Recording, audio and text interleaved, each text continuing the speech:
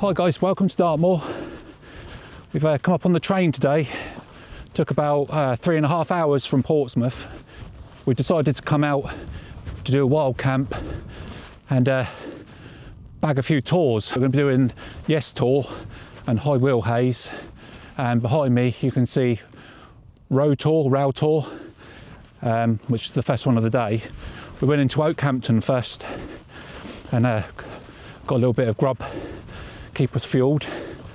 And um, it's basically been about a two and a half mile uphill trek from Okehampton to get back up into Dartmoor National Park. So, yeah, we're looking forward to getting some views.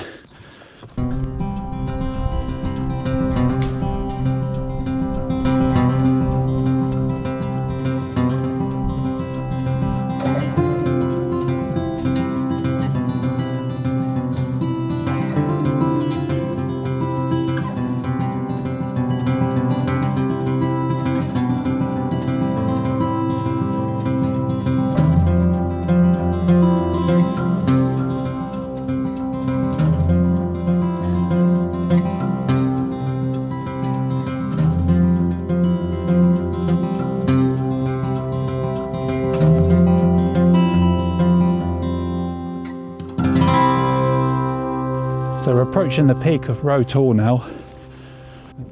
Got these beautiful big granite stones. Reminds me a lot of the uh, Peak District. That's the sort of things you've got up Kinder Scout. Really is beautiful. This is the top of one of the granite boulders and uh, yeah, they're really grippy.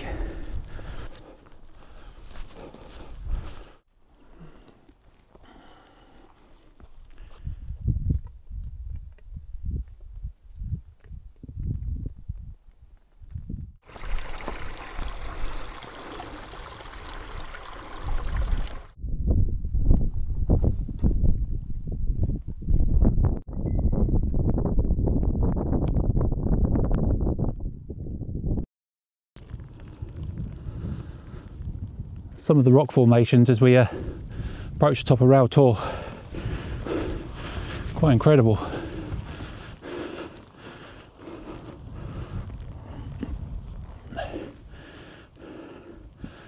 Starting to get a few vistas now too. So behind me, over here, you can see the uh, Okehampton Army Training Camp which we walked past earlier. You've got to be careful what time of the year you come here because uh, if they're flying the flags, means that there could be live firing in this area. So it's worth uh, checking the website to see what times of the year they're doing that. I don't think they're doing it for the whole of August this year, 2024. So uh, we lucked in really. But yeah, nearly at the top of Row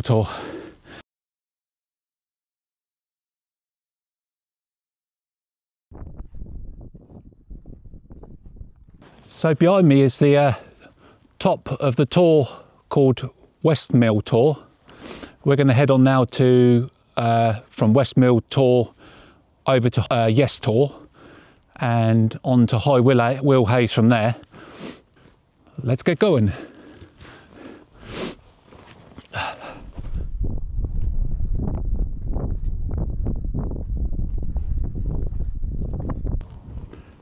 So just over there is Yes Tor, and you can't see it because it's hidden, but just behind it is High Willhays. So these are the uh, Dartmoor ponies. I think they're only in this area. I don't think you get them anywhere else, but they're absolutely beautiful. That one there's having a good itch.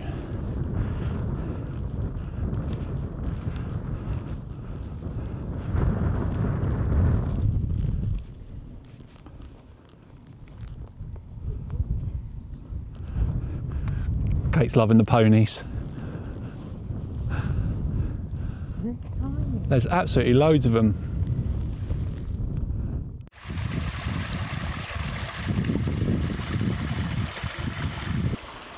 Got this really nice water source here at the bottom of Yes Tor. It's the only one that's uh, got their water fill with them. Great place. I've got mine today. I've had it for two years and still not used it. But yeah, that would be perfect. So behind me here you can see Yes Tor, which is the second highest point in Dartmoor and indeed uh, the south of England. Only given up the prize to High Willhays, which is just behind here. It's at 619 metres or 2,031 feet, and you can see it's got a lot of military communications on the top.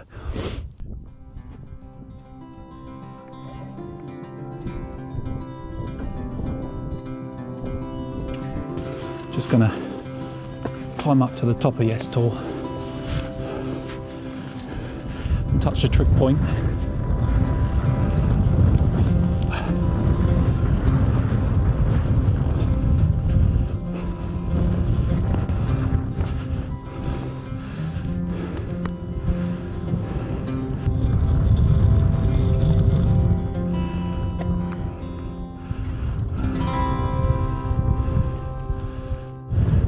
We are at the top of Yes Tor, 2,031 feet with views. Wow, massive area of Devon. Behind me there you can see High Willhays, which is actually the highest point in Dartmoor, and indeed the uh, south of England.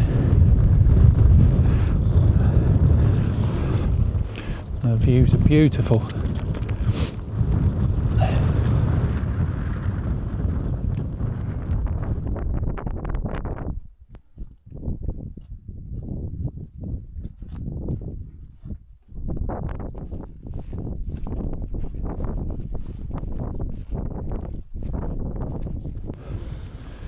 So we're at the top of uh, High Willhays, uh, 2,039 feet or 629 metres above sea level.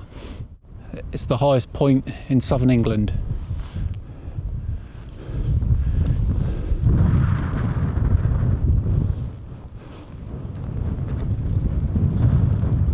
Enjoying the walk, my love? Very much so. Right, on we go. Not sure how much further we're going to go today. Um, we'll probably get get the other side of this uh, mountain, and then uh, we'll uh, try and find somewhere to pitch the tent. Only problem is, since we've come up the Yes Tor and I high, high Willhays, it's got very boggy underfoot, so we need to uh, find somewhere a little bit drier to pitch the tent. Otherwise, we'll be waking up in a swimming pool. Right, catch up with you in a minute. So this is the cairn at High Willhays. Some people have a groan about putting markers like this in national parks. But I think as long as it's in the right context and on proper pathways and on the peaks, and it doesn't lead you off in completely precarious situations, and I think it's a good thing. Yeah, so that's High Willhays anyway.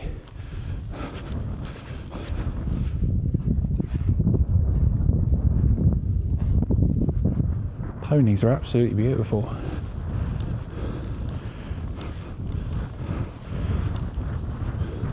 Wish I'd brought my big camera really. There's just more weight to carry.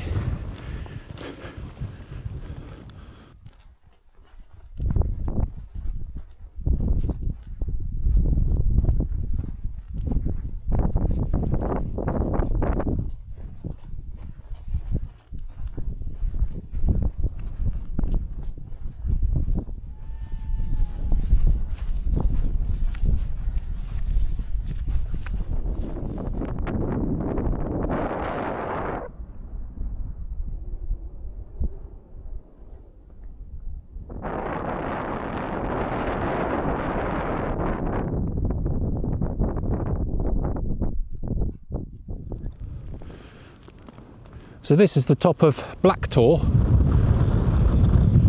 We've just come from High Willhays, which is right back over there. Um, we're going to be heading off in this direction now, down here, and uh, you can see probably looks like a billion miles away on this camera, but that's Meldon Reservoir down there. That's where we're going to walk in the morning before we go back to the train. We're going to head over there to Shellstone Tor, where we're going to set the tent up for the night. Uh, it's about uh, coming up for six o'clock now, so by the time we get over there, we'll um, be about the right time to set up camp.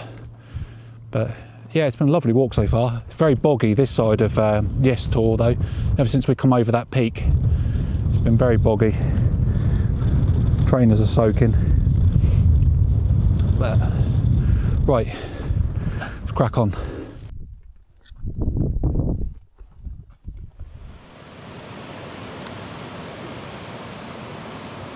So this is a Black Tor Copse.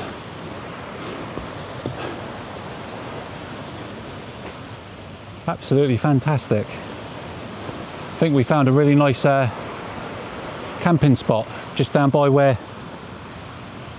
where Kate is over there, right next to this river, um, which is ideal for getting our water source off for tonight. And uh, look at that.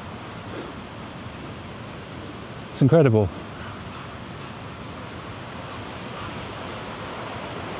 So yeah, I think we're going to uh, set up camp here now, and then we can have a little explore. I wish I brought a towel with me now. I'd been very tempted to go for a bit of a wild dip.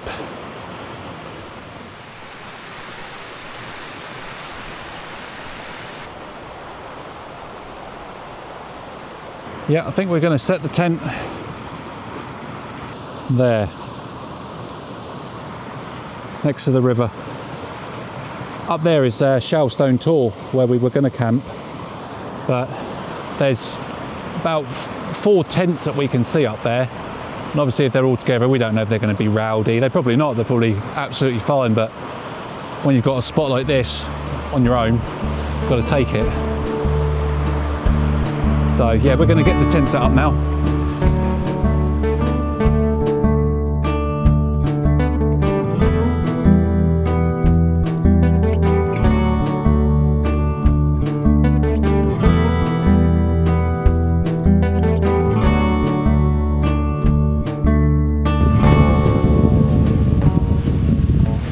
So that's the tent up. Decided to bring the uh, Durston X-Mid 2 today just because we had quite a heavy pack and uh, perfect for backpacking. So yeah, we're going to get the inside set up now and then uh, chill out, maybe go and explore a little bit.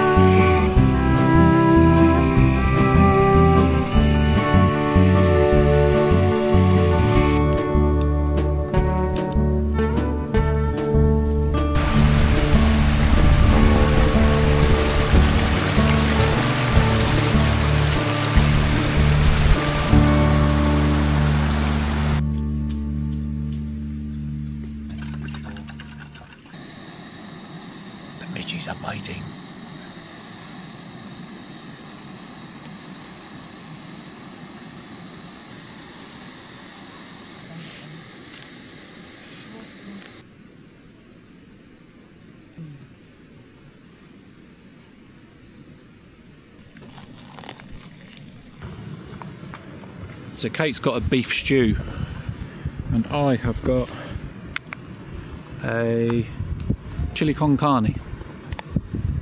Smells really nice. In 15 minutes, hopefully, it'll taste good too. Sorry about the head net. Uh, it's midgy heaven here. The wind's dropped off a little bit, and um, all of a sudden, midges are everywhere. But it keeps them at bay a little bit, even if you do look like a plum.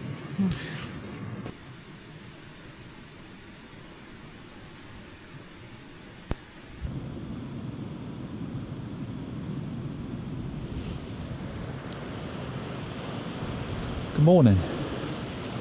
Well, that was a lovely night's sleep. Had a little bit of rain about three o'clock this morning, but nothing too major. Does mean the tent's going to have to go away wet, so I'll be drying it out when we get back. But it's actually cleared out. Looks to be a lovely day. Sun's just coming up. So we're going to get uh, packed down and get moving. Got about probably two and a half hour walk this morning.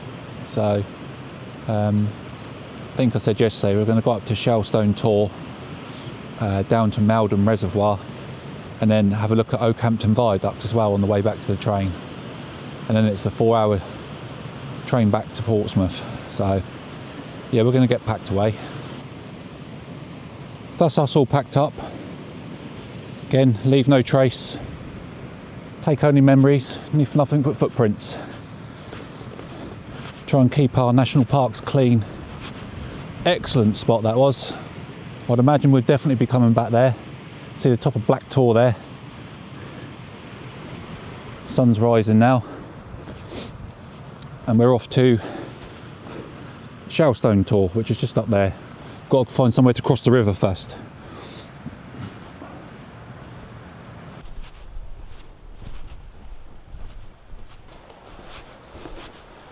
Yeah, it's taking a little while to get going, isn't it? A bit warm.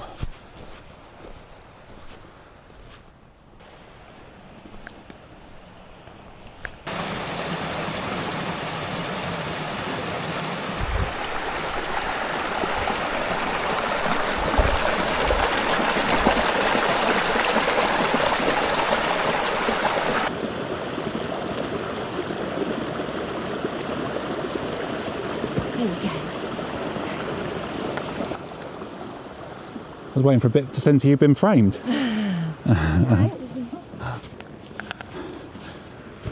Right, we've got to cross the river. Now it's uh, another bog trot up to Shellstone Tor.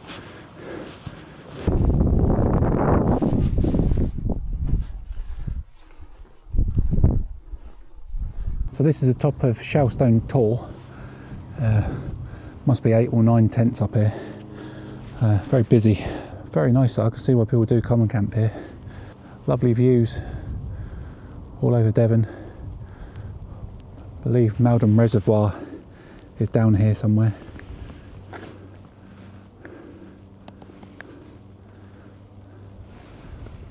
So yeah, we're going to uh, not hang around here too long and get heading off. It's uh, five to nine, so got a 12 o'clock train. So we're just at the bottom of Shellstone Tor now. Uh, Meldon Reservoir is just around that corner there. Hopefully we're going to find a path down in a second. And then that little bridge I think is what we've got to cross over to start walking around Meldon Reservoir. There isn't pathways here as such. You just have to navigate. I mean, I've got it all programmed into my my watch, but even that's a bit confusing at times. Right, down we go.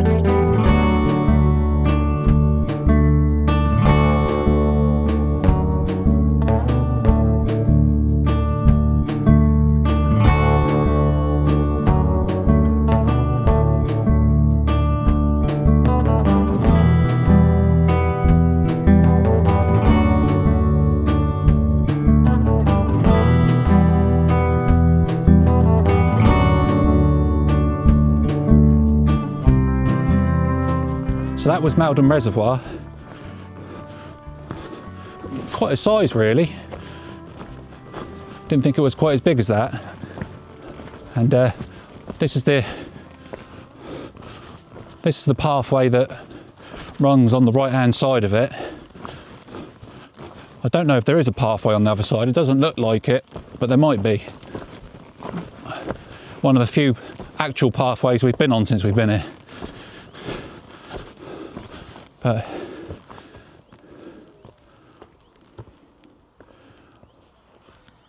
loving all these red berries out.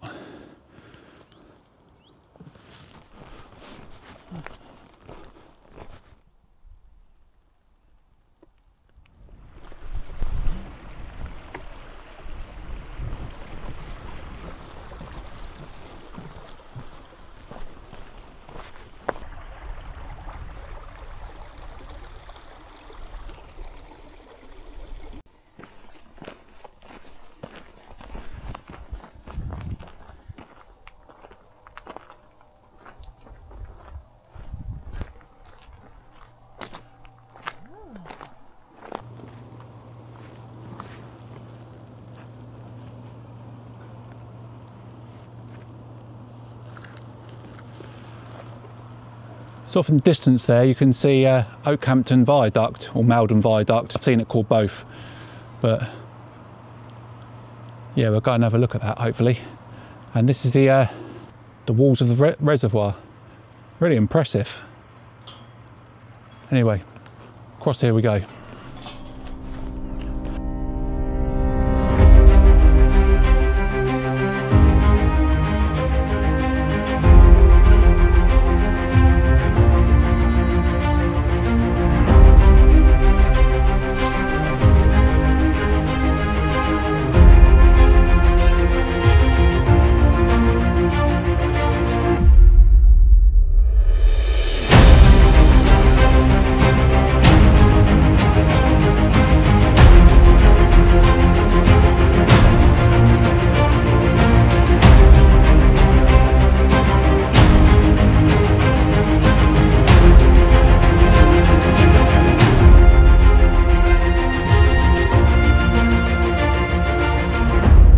Walking across uh, Meldon Reservoir.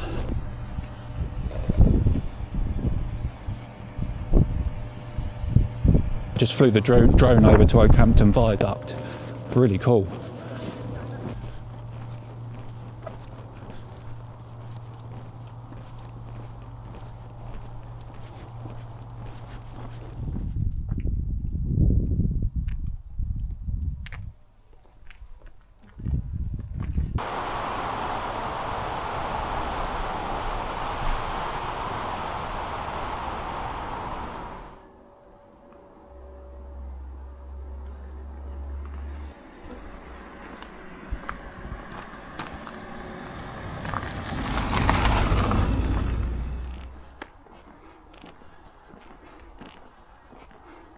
So that's back at Okehampton train station. Just done seven miles back to the station from where we camped. So it was a bit of a sweat fest really, it's quite warm. Overcast but very warm. So we're gonna get these packs off and uh, chill out at the station for a bit. Grab a coffee, much needed coffee.